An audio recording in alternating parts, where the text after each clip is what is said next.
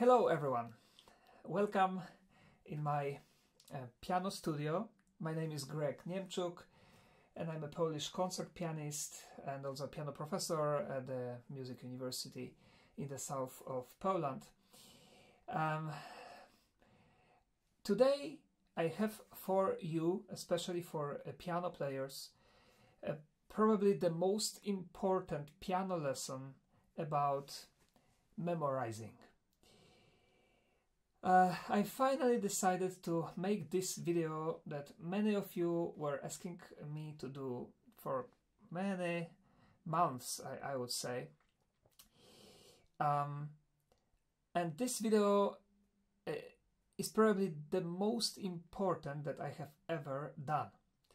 Because what I'm going to do now with you together is I am going to memorize and show you how I am doing with explanation uh, a piece of music that I have never played and I even have never listened to. So the level of uh, not knowing the piece is the highest possible. Why am I doing this video? For many reasons. First of all, I must tell you that when I was at school and when I was even at the university, I had later very good teachers, but they never told me how to memorize. So everything was automatic at first. Then I had a lot of memory slips, then I couldn't really play for memory, and I had to find myself my own way.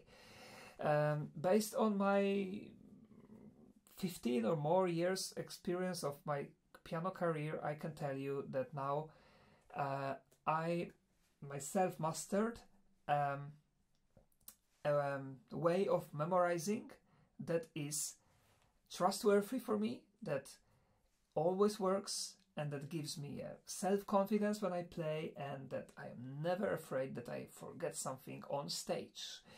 Um, this, of course, is my own subjective way. Um, it works for me, but I also give it to my students, and those who listen to me, uh, they really also prove that it works for them as well. But for this special thing, you need to be very patient. So that's why, unfortunately, not all of my students are following my advices. But finally, I decided to make this video also uh, to save, in a way, let's say, to save the time during lessons. Uh, because instead of teaching every student how to do it with him, I can just send him to this video and tell him please watch this video and then if you have questions just come to me. Anyway um, i think uh, you all deserve to have a very um, easy explanation of how memory works and how the memory of the pianist works and um, what is the easiest and the fastest way, in my opinion, to memorize a piece, or at any rate, how I am doing. Okay, I finished talking and now we start uh, learning. I show you exactly how I approach a new piece of music. Well, the new piece of music that uh, I approach, usually, of course, I'm listening to the recording, some, uh, a few recordings. Now I didn't listen to the recording, especially because this is even more difficult to do. Uh, that I don't really know how it sounds. What do I have for you?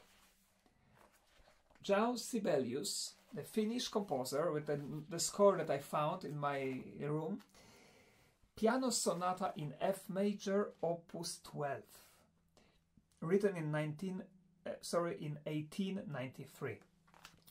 I chose this piece because, as I said, I never played it, I don't know it, and now together with you I will try to memorize. I don't know how much I will memorize, but I will show you and tell you how I do it. You, the best way for you to learn, in my opinion, is to print out the score uh, and follow me. Try to do the same things and see if it works for you or not. So go to imslp.org and then print out the Sonata in F major, opus 12 by Sibelius and go back to watch this video uh, from this point. And now we are officially on our way to memorize. So, the first general advice is that I memorize each hand separately.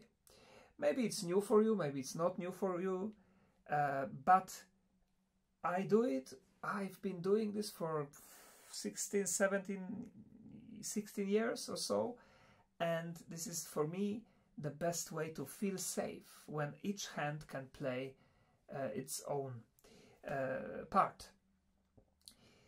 This is very important um, for our brain, and also it is very important when we want to relearn a piece after a few years of not playing it. Uh, I'm telling you from my own experience. If I know the piece like that, even if I don't play it for a few years, um, and even if, if it's a very complex piece, like piano, like Chopin Piano Sonata, for example, it takes me only about a week or a few days to get back to how it was this few years before. Uh, I promise.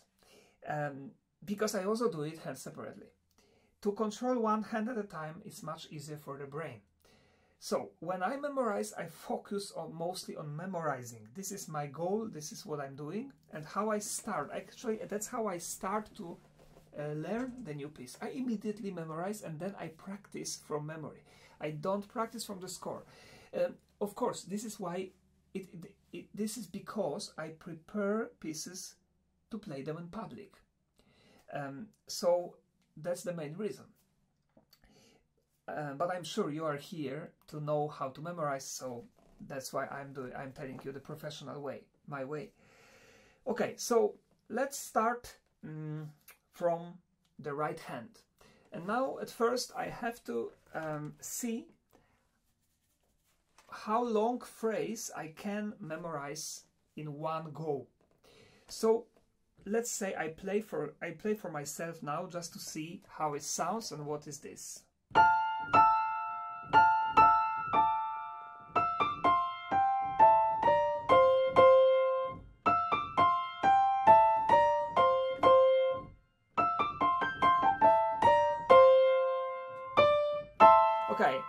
Is enough. Um, until here, uh, we have um, the, the, the, first phrase, let's say, yes? And this phrase, I already, I, I Im, Im, immediately analyzed this phrase. So the phrase is interestingly constructed because uh, I see that we have ta ta minor second, then ta ta, then three notes of the scale, and then again three notes of the scale. Again the, the repeating. And for the third time repeating but but with with the variation. Okay now I already mm, found the way how to memorize it. So at first I will memorize this what happens before that repeated motif. So the only this so now I am trying to figure out some connections in my brain first of all the tonality F major. So, because I have to remember that tomorrow, right, how it starts. So F major, um, and now we have the, let's say the F major scale, then I take the pencil and I write it down. F major scale, uh, going down, first two notes, then three notes, and down there we have the, the third. All the time the same third. Now when I memorize it, I close the score just so that I don't look at it and enough. Sometimes when the piece is very com complicated, I do the same thing with the left hand.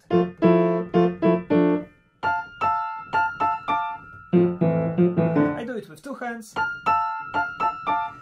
just so that it's not only the fingers, but everything. Okay, when I know it, I play it also mentally. Pam, pam, pam, pam, pam. That's enough. And then we have the next motif, when I, I make a line here, then we have a next motif, which is something that is repeated. So, enough. That's only this one. And then, what do we have here? This is also a in for me a ma F major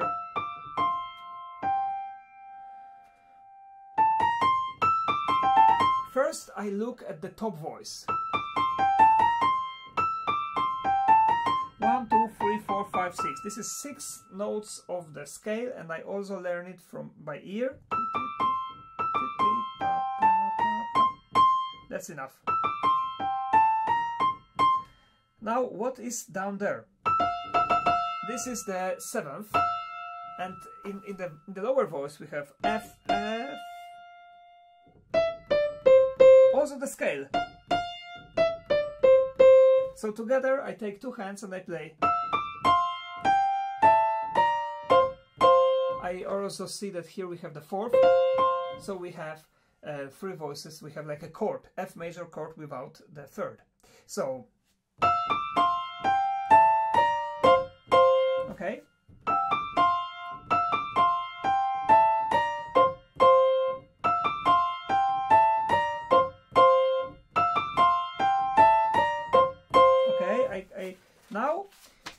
try to remember what was the beginning. Scale, right? And then the second motive. One more time.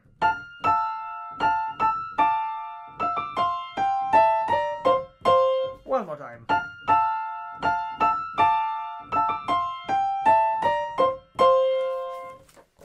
I can do it with two hands.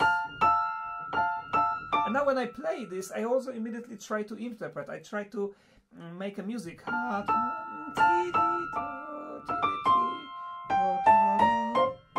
Then what do we have? We have everything repeated.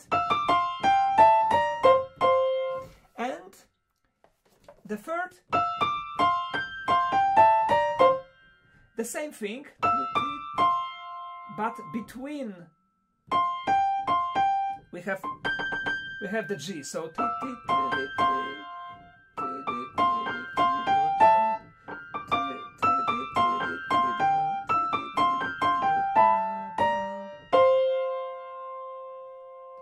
here we end and then we have ta pam this octave going up scale going up D and A minor very important A minor and this A minor is the beginning of the new phrase and the ending of the first phrase. So okay, now I know it all, I think, just to, to practice.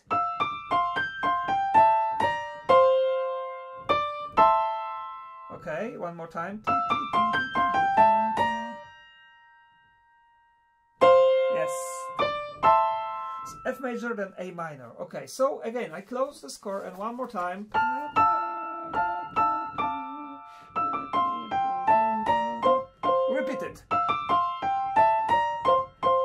Repeated.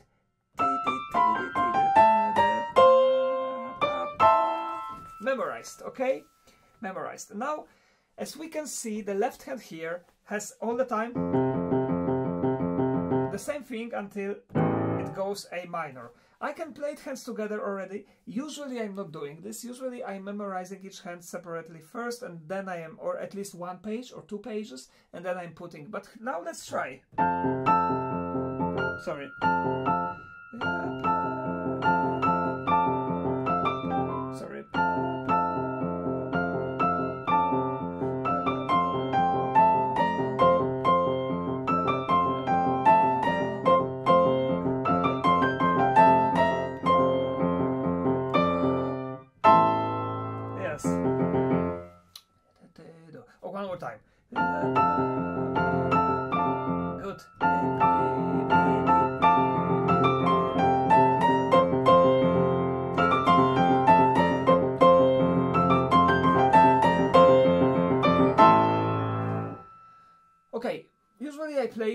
little bit more times than this and uh, maybe I go allegro molto.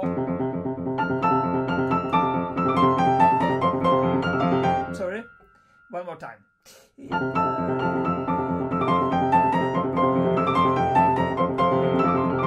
This is hard. This I cannot play in this tempo now when I have this problem usually I check fingering Okay, now I see the problem. The, the fingering was wrong. Usually the fingering is... So you have, when you have some technical problems, first what you should try to check the fingering. But okay, let's go, let's go further. So okay, now we have A minor, and now what we have to do, I have to find a connection. This starts A minor, we have A minor, it starts from the fifth of A minor, I write it down, and then what do we have here? First I have to play.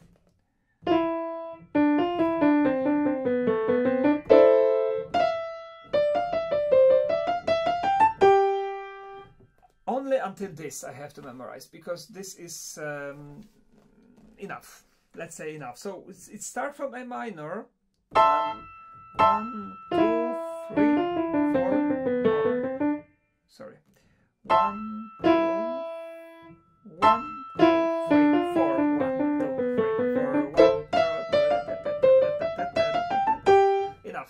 So we, we can see it's a scale, we just have to know what scale is this. Of course A minor. I can see that this is constructed uh, with um, four notes motif. Mm. And now one, two, three, four, one, two, three, four, and then one, two, three, four. So now this I also play mentally. Dum, re, fa, mi, re, do, re, do, si, la, si, do, re, and I minor and the same. Re, fa, mi, re, and re, fa, and then going up. One, two, three, four, one, two, three, four, one, one, two, three, four, one, two, three, four, one, from C and from E. Enough.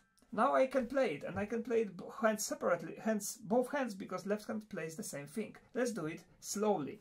Let's close the score, and let's do it slowly.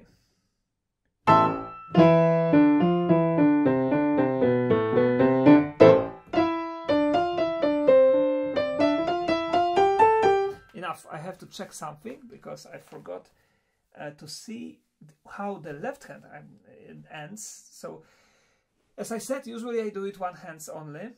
Mm, left hand. Okay, and then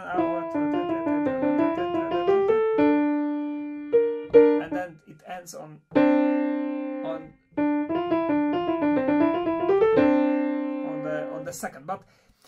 since I'm not really doing it hand separately, let's let's forget it. Don't do this now because that's I will do later. My next lesson should be like this. But A minor.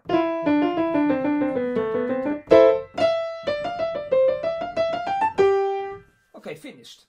Um, now when I do this, usually what I do is I try from the beginning.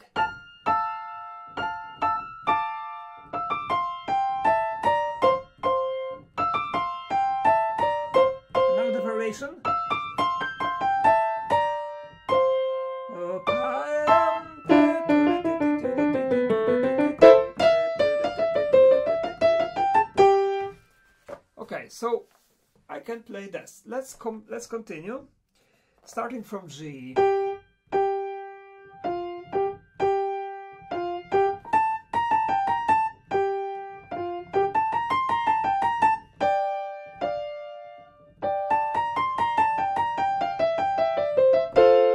until this is something because then we have the beginning but uh, before I mean I, I can't play I can't memorize such a long uh, phrase now so I have to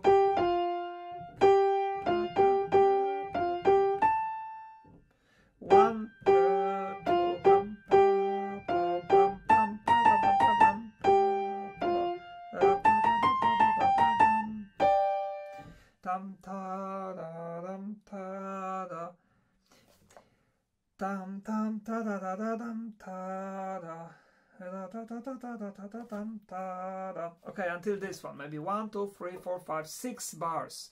So what do we have here? We have like a like a trill.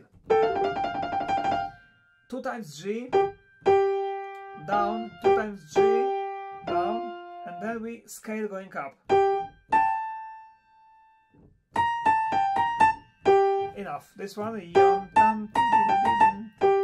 I have to remember where we have octaves, where we don't have octaves. So one, octave, and one octave here. One more time.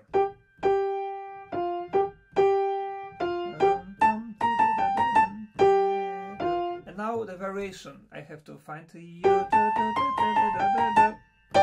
and this is very important that instead of G and of the octave we have the fourth, we have the D. And then what do we have? The same that we had, but here I can already see when I play from the score that I have to find a good fingering here. So Okay, five. Five. Five. I write it down also and I try to play again from the beginning. I, I memorize it so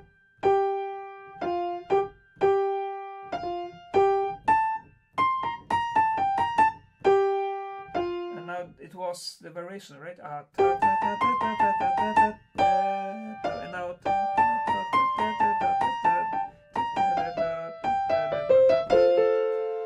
this is difficult. I have to memorize it. This is easy. But then we have the same pattern. The third and scale. The third and scale. The whole thing. Okay, so and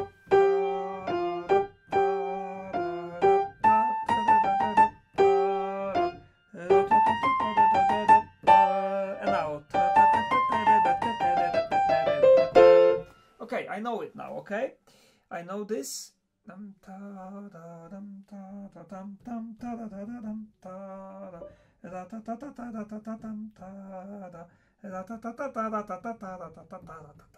I know everything.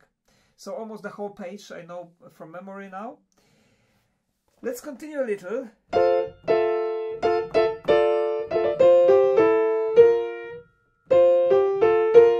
This is everything the same that it was here. Except here I have to circle this. The lower voice is not going down like it was at the beginning, but it stays on F and then we have the diminished A diminished chord on the on the fifth. So I write it down and I try to play it.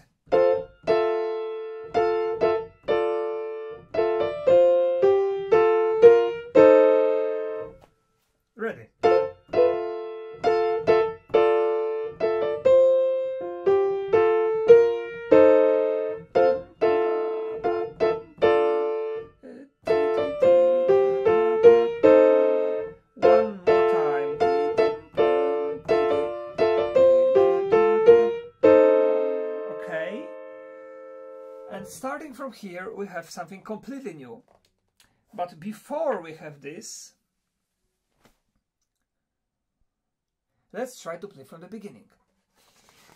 I'm not sure if I can play it, and now I have to tell you something very important. Forgetting is a part of memorizing. We to memorize something for good, we have to forget it a few times. We have to forget it, and we can forget it. Of course, I can leave it. I mean, I can go further. I can leave it for tomorrow, but tomorrow probably I wouldn't be able to play it, so I have to re- relearn it. It will be faster, of course, but uh, then it is deeper in the memory. But uh, to memorize it faster, you can artificially forget. You can push yourself to forget something, force yourself to forget something. For example, now, I'm not sure if I can play everything, but if I forget something, I deeply try very hard to, to remember what it was. And this is the process of memorizing. I hope it is clear. So let's let's do this.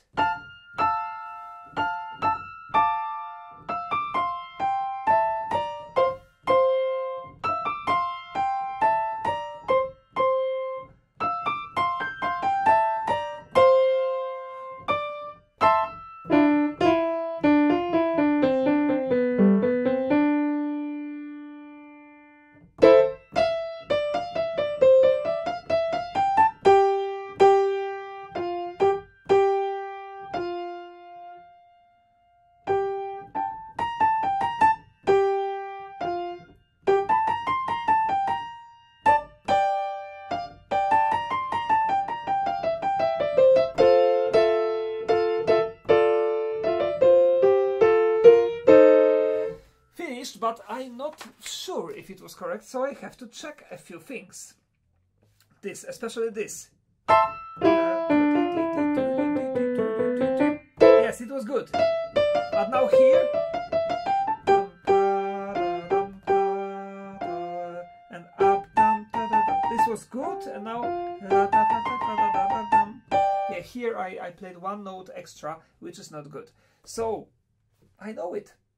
I must say I know it. So the whole page, one page, I memorized, I don't know what's the time and how long it took us, but I think not bad. And uh, left hand is very easy here, but I'm not doing left hand yet. Let's continue a little bit, because now it gets a little bit more complicated. Um, so you can see how I do it when it's get more complicated. So, this is our starting point, because we finished here, A diminished on 7, First I play it, of course. Okay,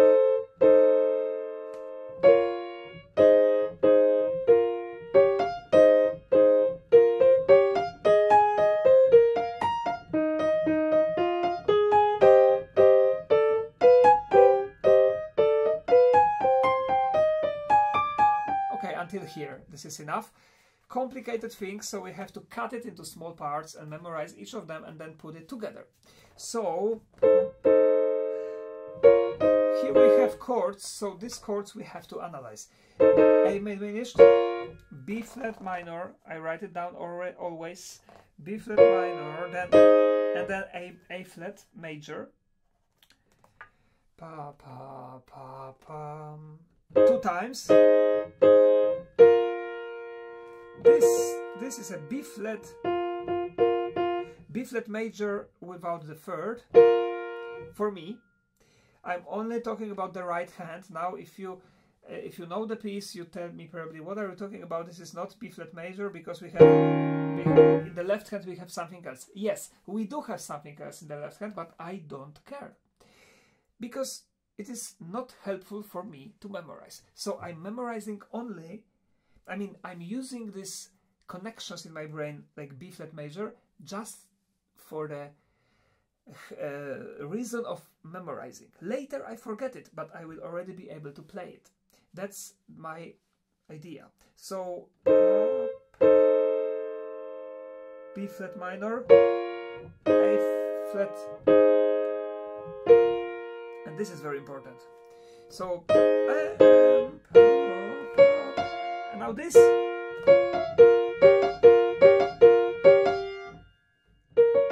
B flat minor. Uh,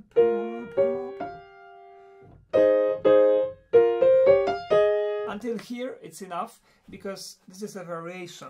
So A flat major, A flat major, B minor, the same. And now here we have the little variation of the first thing. So one more time without looking at the score.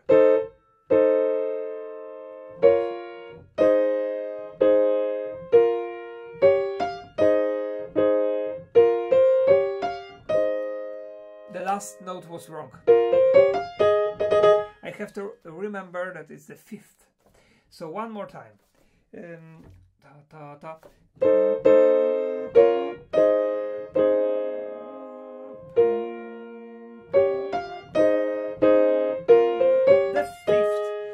yes and now usually what I'm doing also especially in these parts when they are very complicated I close the keyboard and I play imagining all the keys. B flat minor A flat A flat the fourth B B minor A flat A flat da, da, da, the variation da, da, da, da, da, and the fifth at the end. Okay finished. Now the next. So starting from the fifth now look at this. This is A flat major, of course, and this is B minor without third. So,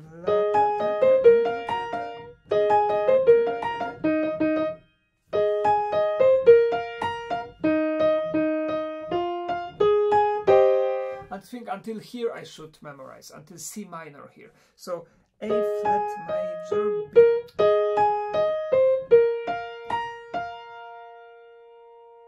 What, was that? I forgot, you see? What was that? Mm, A flat major. I didn't make enough connections. B flat minor. Uh, I forgot. I have to check. Ah, octaves. The broken octaves. This is what I forgot. I write here in the score broken octaves first. This is a connection in the brain. Octaves. And now I have to remember that this is a fifth down. Fifth down. So, and this octave, I have to make another connection with, let's say it's an A flat major starting from the fifth, going five, six, seven, eight. Two times the fifth, then we have the C minor. Okay, I think I can play it now. So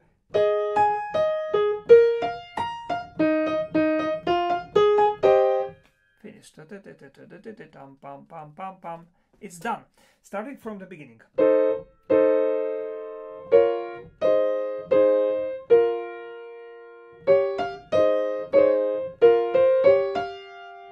And now what? We ah fifth.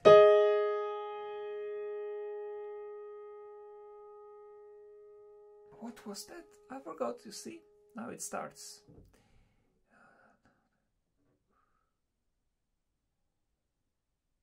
Ah yes, I, it was an A flat major. You see, and now I am putting this deeper to my memory. So it was. I didn't look at the score.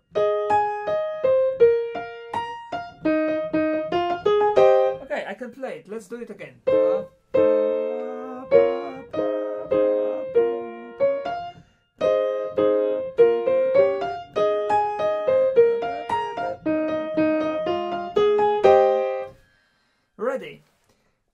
Gets more difficult as you can see. Now,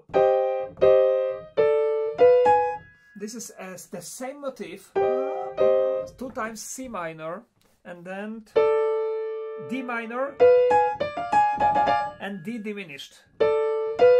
The same, and the fifth as well. Okay, so this is the same that we had before, but in minor, it a little bit uh, higher. So minor.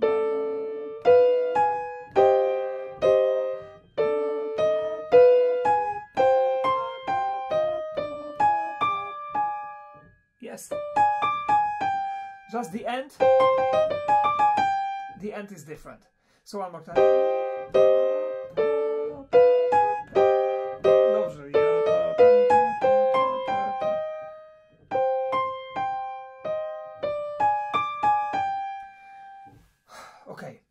The beginning. From from the beginning? Well, let's try from the beginning. Why not? Let's have fun.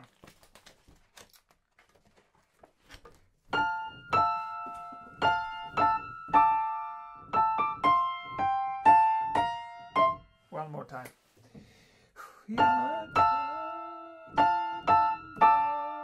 As you can see, I close my eyes because it, it is easy for me to imagine what is written and also the keyboard, the keys.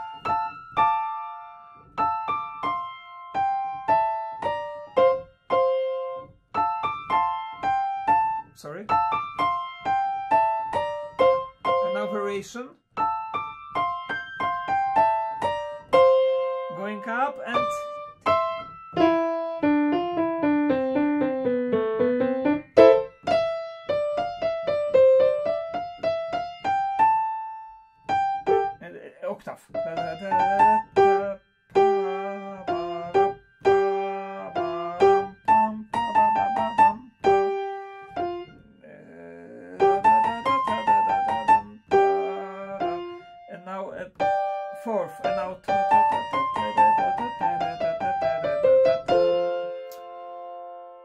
this was the beginning.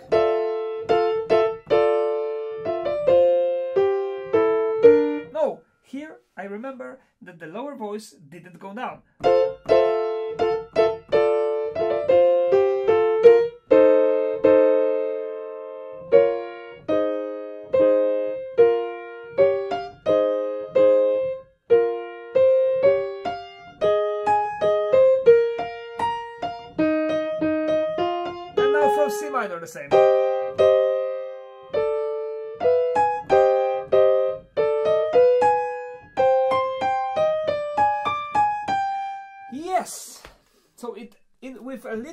Mistakes which are immediately uh, should be of course um,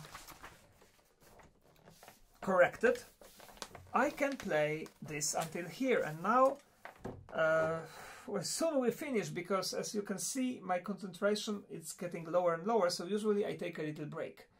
Um, probably we are here more than half an hour already but usually half an hour to 40 minutes memorizing in one go is the maximum. Then you a little bit should um, stop and then continue. Uh, but anyway let's finish this.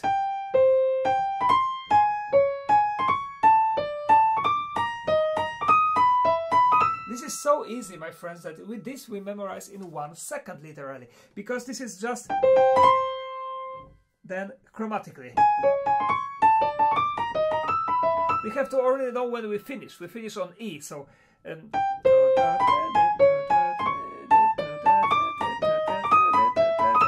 finished. Then we have B, my B diminished. And what else?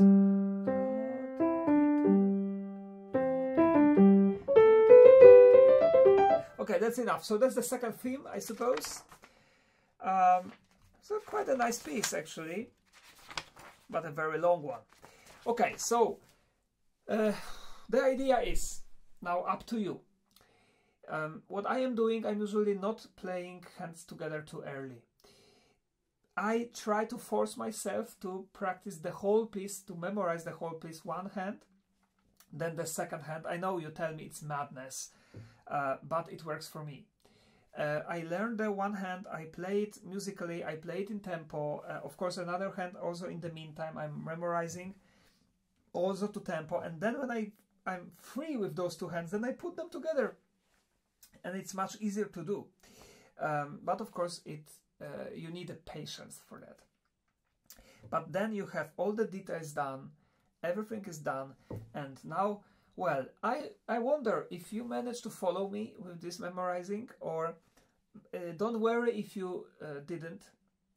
Absolutely, because uh, if you do it for the first time, it will be much slower. Uh, my I remember my first time was much slower. Now I have a lot of experience, so I really do it, as you could see, fast. Um, so that's how I'm memorizing, and um, I'm uh, kind of guessing what composer tried to do. Anyway, the, the I'm also uh, willing to help with memorizing. I have uh, some students, two students with whom I'm actually memorizing. I'm, I'm giving them these things and and practicing with them, like the like the, the lessons are memorizing simply um, because um, it's not so easy to do at the beginning. So um, it's easy to do. I mean, these lessons are easy also to do online through the internet, like Skype. So that's um, uh, that's very useful actually. So anyway, if you need, if you have any questions or if you want me to do something more just please write me uh, on the comment uh, here under this video or a, a personal email to gnpiano at aol.com. I always answer. I try to answer sometimes in a few days, but I do. Uh, thank you. I hope it was helpful and I mm, good luck with memorizing music. It's worth it because then you are free and you can play. Um, you can play you can think like a composer you know the piece like composer knew it when he composed it bye bye